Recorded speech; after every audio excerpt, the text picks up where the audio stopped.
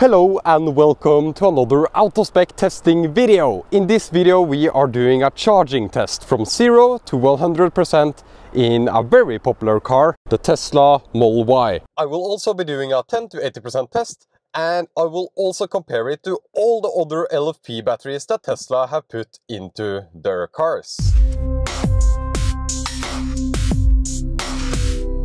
This is the base Tesla Model Y and it's only available in Europe and China and maybe some other markets, but not in the US. This is not the long-range rear-wheel drive, this is the base rear-wheel drive with the LFP battery. And it's not just any LFP battery, it's the new CATL 6M battery. And I sound excited because it's a new battery in a Tesla, that's very cool. Unfortunately, these batteries are still 400 volt, it's still 400 volt architecture, and it's not one of those breakthrough 5C crazy charging LFP batteries that you find in China. But it's a new battery in a Tesla, so we need to test it. So this is the CATL 6M battery.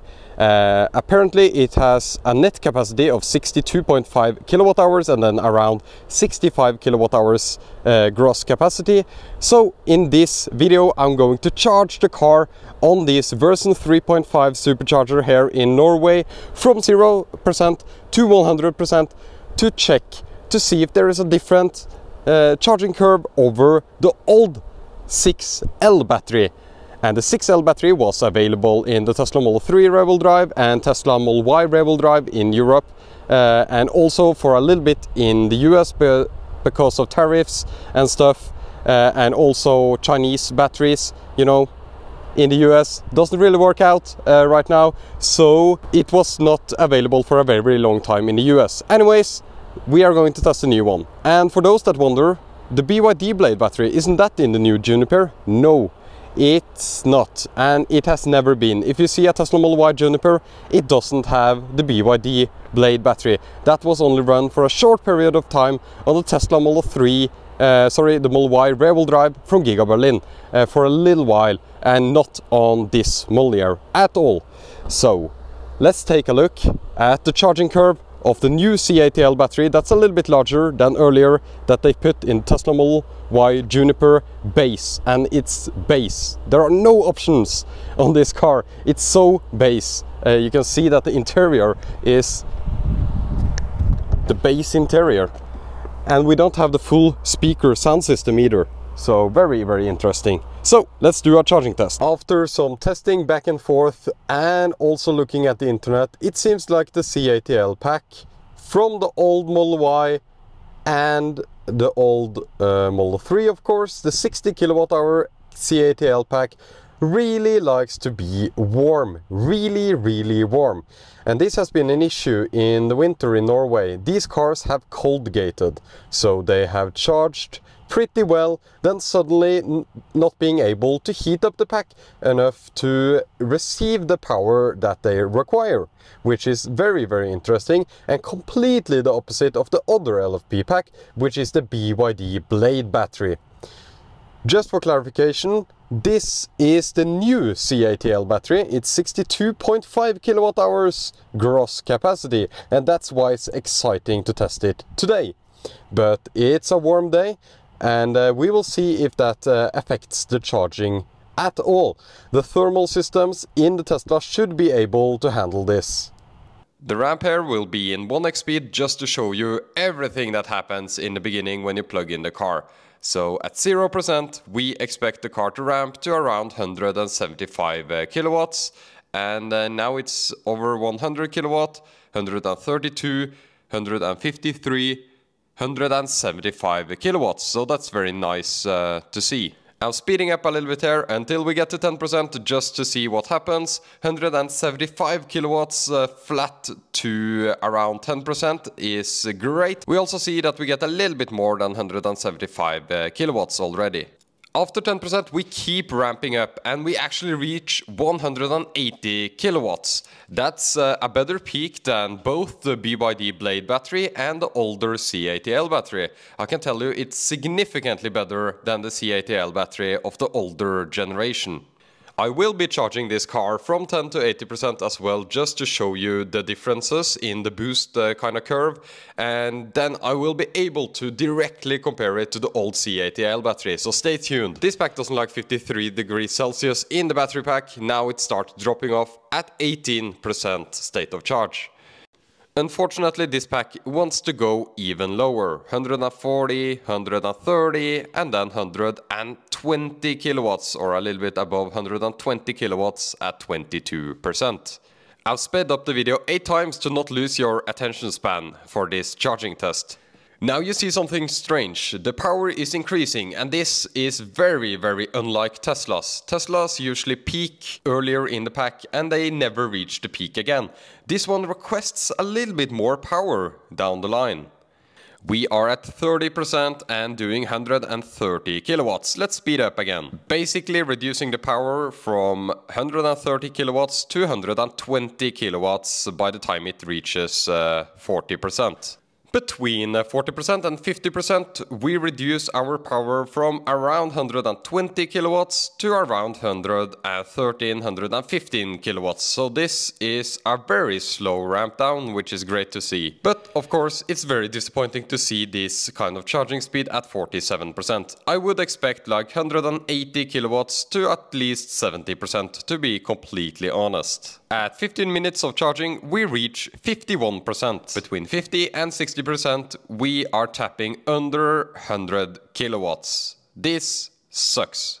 It's still doing better than the old CATL pack. We are above 60% and the CATL LFP packs that Tesla uses are not charging great. Also, I dropped the camera down here and now it's up again. Perfect. So now it's just a slow, slow burn until we are at 100%. To think that this battery is actually kinda charging better than the LG battery is absolutely insane. I'm skipping a little bit because this is very boring, so 88% uh, and we are doing 40 kilowatts. 94% and we are doing 30 kilowatts. We reached 99% at around 50 minutes of charging and now we just have the top pack calibration that takes a while. At 1 hour and 4 minutes, the top pack calibration was finished. Time to move over to the 10 to 80% charging test, which is more customer representative in my opinion. You arrive at the charging station preconditioned at 10%. We are of course preconditioned here and I'm not using climate this time to make it comparable to the other test that we did. 176 kilowatts at 11% and ramping up. This car is requesting around 470 amps Together with the pack voltage, that means that we get 177 kilowatts in uh, to the battery. And uh, as pack voltage goes a little bit up, we also get closer to 181 kilowatts. And I think that's the peak I've seen for this car. Of course, if you use climate, it'll draw a little bit more uh, power. Uh, but uh, from just a charging perspective, 181 kilowatts is the peak that I've seen. The pack is reaching 53 degrees Celsius at the max temp reading. You know what that means? That means a ramp down. And it's a significant ramp down. We are ramping down to 150 kilowatts and even lower. For a small battery, the average charging is okay until this point. But as the ramp down happens, it's not good enough in my opinion at all.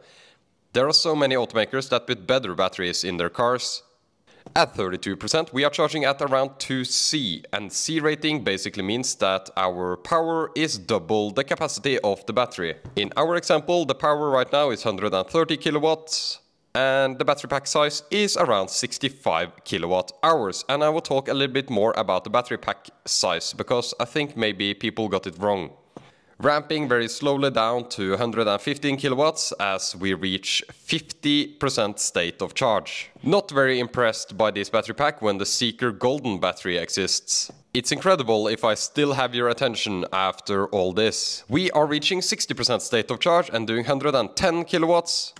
As we move past 15 minutes, we are at 59% state of charge. This means that in a 10% challenge, we would go from 10 to 59% state of charge. That's if we assume that the climate on doesn't affect the charging performance. But it usually doesn't in Teslas, which is great. 70 kilowatts, 60 kilowatts, down to 50 kilowatts as we make our way slowly to 80%. The car charges from 10 to 80% in 25 minutes and 40 seconds. So let's look at some graphs. First I want to mention that this doesn't really show the true beauty of the BYD Blade battery pack because the BYD Blade battery pack will do this kind of curve no matter where you plug in where the CATL batteries will behave a little bit differently. Anyway, the BYD Blade battery uses 21 minutes and 51 seconds to add 70% or go from 10 to 80%. This CATL 6M battery uses 25 minutes and 40 seconds and it adds a little bit more kilowatt hours of course, but still it's not good enough at all. The old CATL pack, the 6L battery pack, had a 10 to 80% time of around 25 minutes. So the CATL 6M overall is not much faster, but it adds a tiny bit more energy of course, because the battery pack is larger. I also want to mention that the BYD Blade battery pack has a much faster time to 100%. You can actually charge to 90, 100% on road trips because it doesn't dip down below 50 kilowatts. It's around 80-90 kilowatts all the way to the top almost. I haven't tested the cold weather performance of this new CATL 6M pack, but I think we can assume it's similar to the 6L. That means bad cold weather performance with cold gating. The BYD Blade battery pack has no issues even in super cold temperatures and I have tested that many times over the years. I still believe that the CATL 6M battery pack is larger than people say. I don't think it's 62.5 kilowatt hours gross, I think it's larger because I've been able to put in 62.5 kilowatt hours into this battery pack. After taking charging loss into account, I think the battery pack is around 64 to 65 kilowatt hours gross capacity. The old CATL 6L battery pack is around 58.5 kilowatt hours usable. The new CATL 6M battery is about 62.5 kilowatt hours usable and the BYD Blade battery is smaller than both. In conclusions, small upgrades with the CATL battery, but nothing revolutionary at all. Even the BYD Blade battery is not revolutionary at all, it's just the best battery Tesla has ever put in a car. If they put the BYD Blade battery in this car and called it a day, it would have had a much better outcome.